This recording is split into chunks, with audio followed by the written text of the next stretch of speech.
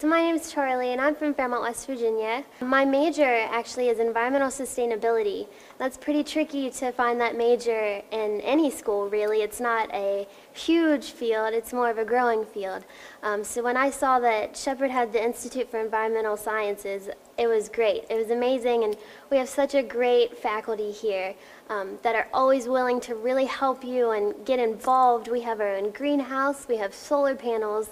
I've learned more in the past three years than I have in my whole life. Um, I also minor in political science. With that, I would like to become an environmental lawyer.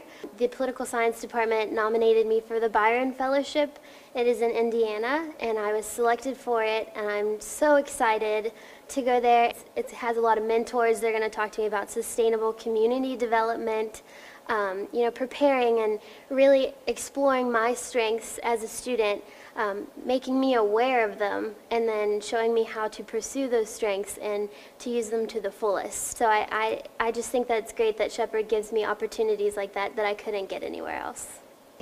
I am Charlee Fox, and I will make a difference in the environment, and I am a Shepherd Ram.